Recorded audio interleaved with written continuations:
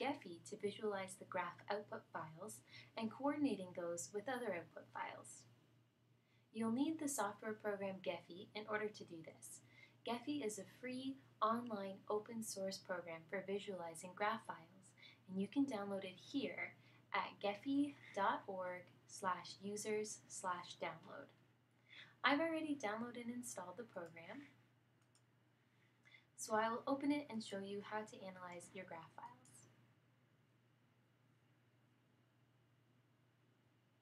When Gephi loads, under New Project, you'll click Open Graph File. From here, navigate to the HDCNV output and select the graph file you wish to visualize. I'm going to visualize chromosome 8. So I find the file chromosome 8 CNV graph and click Open. These graph files are all undirected, so under Graph Type, select Undirected. Click OK. Now Gephi defaults into the Preview mode. Up here at the left, there's three tabs, Overview, D Data Laboratory, and Preview. You need to go to the Overview to actually work with the graph, and then you go to Preview when you're ready to save. Now when the graph first opens, it looks very different from the graphs in our publication. In order to make it look a little bit more understandable and to do the color coding, you need to apply a few different metrics. The first we're going to do is the layout. Under layout, to mimic what we've done in the publication, first choose Force Atlas 2. This will separate all of the merged regions so that you can see them individually and not all mashed up together like this. Click Run. As you can see, different clumps or merged regions immediately separate from each other. Give it a bit of time to make sure that all of them separate, and once they're done, you can hit stop. Now you probably want to bring them back in to make one cohesive looking graph, but still keep your merged regions separate. To do this, you can apply the Fruchterman Reingold layout, and we've changed the gravity to 50. This just brings them in a little bit tighter. Click Run. Now as you can see, it begins to pull the merged regions into the center of the graph, but still keeping them separate from other merged regions. This really helps you be able to pick out interesting information from your data points. You can change the gravity or the speed or anything you want really on these. Uh, most of it is just for different aesthetic looks, so play around with Gephi and see what you like best. This just happens to be how we did it. If you zoom in, if you'd like to zoom in, put your mouse where you wish to zoom and then use your scroll to either zoom in or zoom out.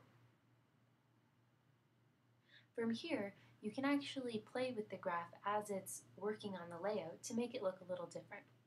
For instance, here we have two nodes connected by a single edge that are spanning another group of nodes. I don't really like the look of that, so I might just move one out of the way to try and get them to separate. You can do this by hand change of the graph if you wish until you get a layout that you think looks nice. Once you like the layout, feel free to stop the layout program. Next, you may want to color code the nodes. We've color coded the nodes so that nodes that are more hot, more interconnected, are red, and individual nodes, or nodes that are only present in one or two individuals, are blue. To do this, you're going to be ranking them based on something called degree. So under nodes, choose a rank parameter, click on degree. From here, we are applying a heat map color scheme. To do this, beside color, select this box, go to default, and choose the heat map color scheme at the very bottom. Now, I want my interconnected nodes to be red and the individual nodes to be blue to in order to show hot spots and cold spots. The way the color scheme comes up will actually do the opposite. So click on the box again and hit invert. Now press apply. Now our graph has been colored similarly to the way our graphs in the paper look. If you want to now save your graph, go to Preview.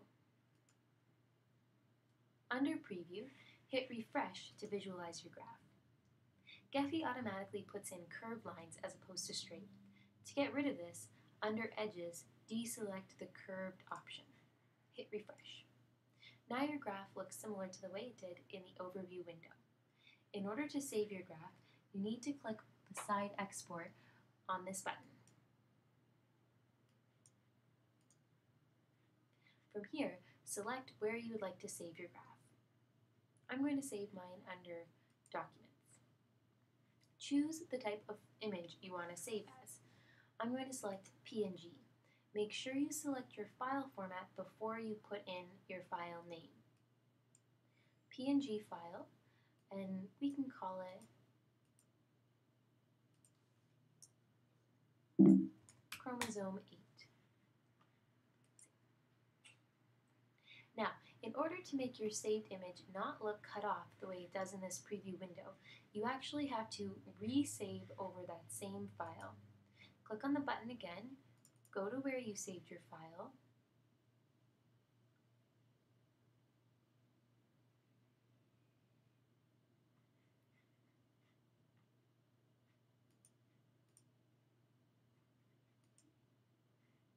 select PNG, and save it again. Overwrite the existing file. This is just a property of Gephi. For some reason, you need to save the file twice to make sure it doesn't get chopped off in the final image. While it looks chopped off in the preview window, the final image will not be chopped off. Now once you have all of your graph files visualized and colored the way you like, you might want to learn something more about them. Here is the karyotype of all of the chromosomes we presented in our application note. Looking at this, you can immediately pick out interesting things between the chromosomes. For instance, chromosome 10 has a lot of merged regions that take up many, many CNV events. These red balls are individual CNV events that are highly related, so they've occurred in many individuals. In contrast, something like chromosome 19 or 15 has a lot of blue events, which means it has a lot of unique CNV events that only occurred in one or a few individuals. Something I find interesting is in chromosome 16, we have this large merged region and a second merged region, which are connected with one single event. Let's look at that closer. I have a zoomed in image where I've added the node labels. To do this in Gephi, go to your graph in the preview window and click Show Labels. This will allow the labels to come up on the nodes. Click Refresh. They initially are very large, but you can change the font size to make them smaller. If you're using a small sample with only a few CNVs, you might not need to do this. Once you've added your node labels, you can view them by zooming in.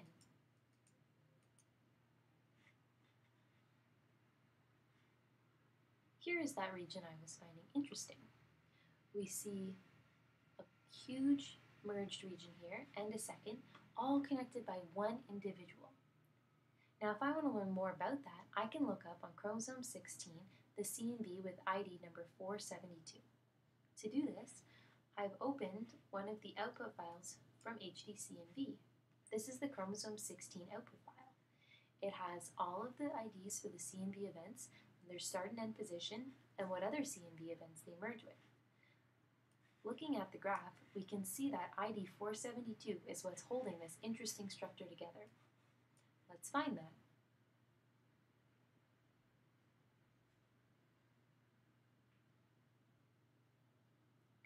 Here is ID 472. It begins around 32